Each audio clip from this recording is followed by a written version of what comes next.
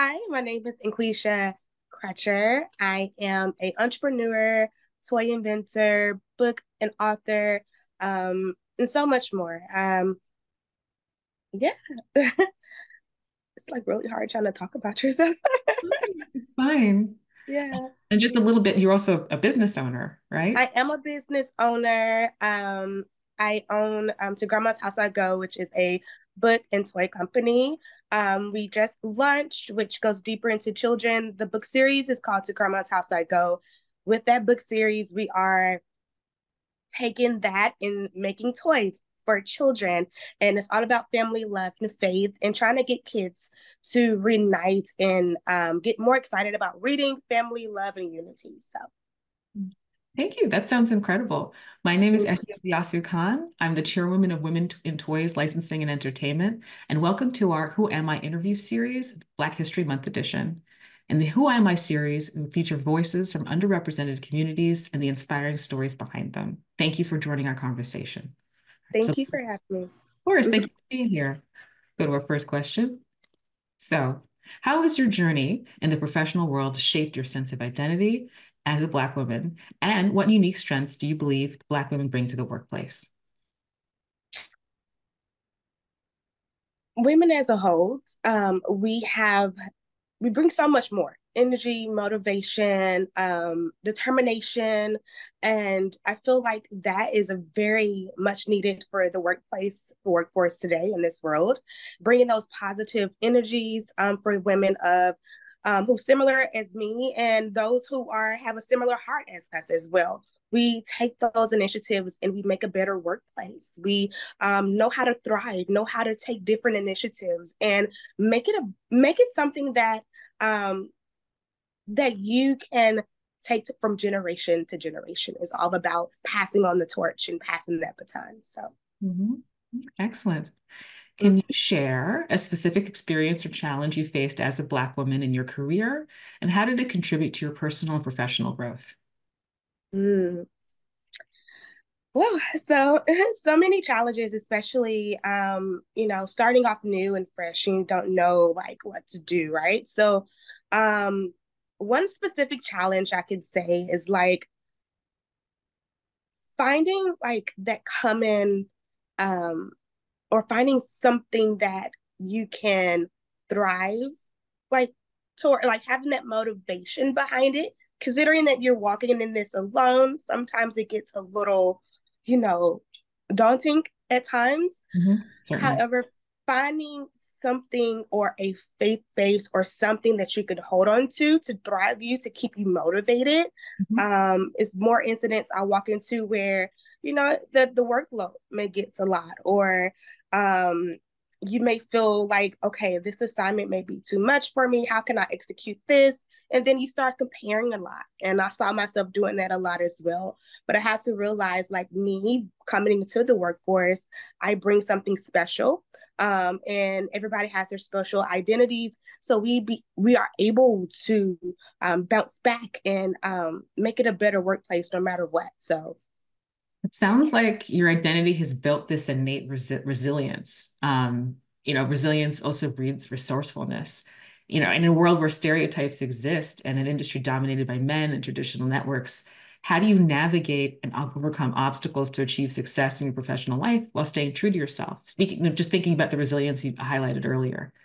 Yeah, for sure. Like keeping ground i'm going back to the same question um previous question but just keeping grounded. Like um it can be a little intimidating because you know sometimes people of color or people um who are like us we get a little intimidated coming into this big ground with um people who are not like us men or other people who have different businesses or different plans and it may seem like it's trumping us but um for me i you know um, I just had to take a step back, um, find my ground, stand on my mottos and my morals, um, and make sure that I am taking one step at a time, having a short term goal, having a long term goal, having those things in sight, like in a vision. So that way, um, that way I won't get lost in the clutter because it can get daunting at times seeing somebody else maybe get promoted or seeing uh, another person who's not like you. You mm-hmm. know what I mean? Like it can get a little daunting, but we have to keep going and thriving and just keep grounded and having a support system too. Mm-hmm. I can honestly say people who um who may have walked a similar walk, mm-hmm. you know, or mm-hmm. people in your corner cheering you on. It can be like your mom, dad, sister, somebody who has that positive outlook for you, who can help hold your hand because it takes a village, you know, that takes a village to kind of help bring that up. So, yeah. yeah. Well, mm-hmm. th- those are some wonderful nuggets of wisdom. If I could just take them one by one um, having a short term, long term, and medium term goal, because especially when you're starting out, it can be so overwhelming when you try to think of the span of your career. So breaking it down in in in, uh, in that vein, and then you said something also really poignant: not getting lost in the clutter and recognizing what is the clutter. So this, is really wonderful because it leads into my next question. How, what advice would you give to young Black women who are just starting out their careers based on your own experiences? And I think you've kind of answered it already, but I'd love to hear more. Yeah, keep going, have accountability partner, right? Mm-hmm. You have to have that. That will sustain me. I know um, when I did my first lunch for this toy um, doll, the Tanner doll, um, I had a good team of supporting people around me. And I will also say having that team after you do a big event or something, because, you know, we always on that adrenaline and we're running, we got so much going. And then once that event is done, you're like, whew, and then after that it's like what what now what i do now yes. but you can kind of get into like a you can get into like a little box or a depression in in a way mm-hmm. if we don't have those people on the side of us um speaking positive to us or you know, staying fresh, even on classes or taking career. I know some free probably classes that state sometimes offer for businesses who wants to get started and things of that nature. I know WIC provide a lot of um, um, workshops and things like that. And that's what I love. So mm-hmm. just staying fresh on your toes, take it one day at a time. Um, try not to do too much at a time. You know what I mean? Mm-hmm. That will help um, you get to the next level. And I go back to say having goals, like do, you know, write something, something down that you're going to do for today and right. then stay in that day. Right. Don't move too fast because you get overwhelmed. That's that is fantastic advice, particularly about being grounded. And it leads into my next question about how do you balance the various roles in your life, responsibilities, both personally and professionally? And then again, could you go into more detail about the specific strategies you've used to help you maintain that balance? Yeah. So, oh my goodness. I, for me personally, I always love the work ethic. And I think that's something that my parents had grounded in me since mm-hmm. I was a child. Um, I always had a job and being an entrepreneur, you have to not in nine times out of ten, you either have a full-time job and also pursuing your business and yeah. trying to get that off the ground. And that's a, also a full-time job, believe it or not. Mm-hmm. So having those multiple aspects of just balancing everything along with taking care of your household. You mm-hmm. know, mm-hmm. you yeah. have family, children, husband. It's a lot to handle, but women yeah. and women like us, we are mm-hmm. built different. We have that that solid um hold. But one thing that I will say that we have to keep um in mind is to make sure we are staying grounded with our morals and our ending goal. Like that's the main important thing that kind of keeps me grounded in multiple things. Um, and then taking the time for ourselves, self care. I mm-hmm. had to learn that over time. Like I love going and going. I think, of course, we are built for going and always on the go, but you have to always have that relaxing time and to recuperate so you can get those creative ideas and juices flowing mm-hmm. and you're able to be your best best self. In your next thing so that's such an important point especially thinking about the balance not just of work but taking care of oneself and i think mm-hmm. i'm really happy that today self-care is part of the conversation but I mm-hmm. personally, I have to retrain myself to think of that as an obligation. I have this joke I tell myself that, oh, sleep is like the gym for my brain. And somehow that helped me just understand that no, it's actually really important to get that extra hour and organize my day in a way. But it was it's hard to, to figure out that balance. So that's, you know, I'm really glad you put that out there so people can understand it's part of your success. There is no success without that kind of balance. critical point. Um, so moving to my last formal question. Um, as we celebrate the Wonder Woman in every woman, how do you envision the future of women in the workforce? And what changes would you like to see in terms of equality and empowerment? Mm, that is so good. Um, the changes that I would like to see in um, for just as general is um, for empowerment is to have more of us coming out and standing grounded and being the face and just doing the best that we are with our tools. But also the thing about us women, we we always have our hand out um, to bring some people up with us, yes. right? Yes, yes. And that's the most important thing that I want to see us do is to pass the torch.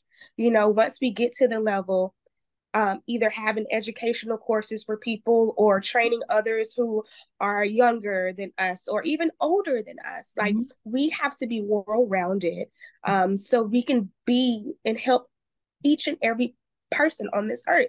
I feel like everybody has their specific task and things that they they can do to contribute to making this world and making this um, workplace a better place.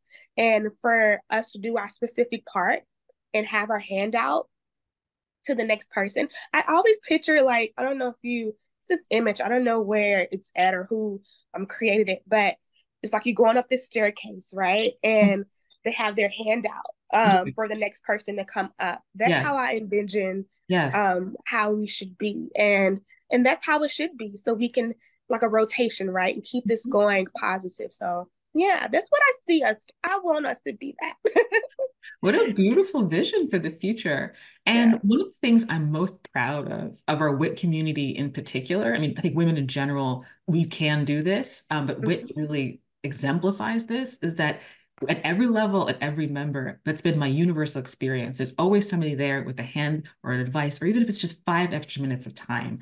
That's yeah. something we, we individually celebrate. And in doing that, we celebrate the special parts of ourselves. So I'm, you know, I'm thrilled to hear you say that. And I think that's something that's going to resonate with everybody listening today.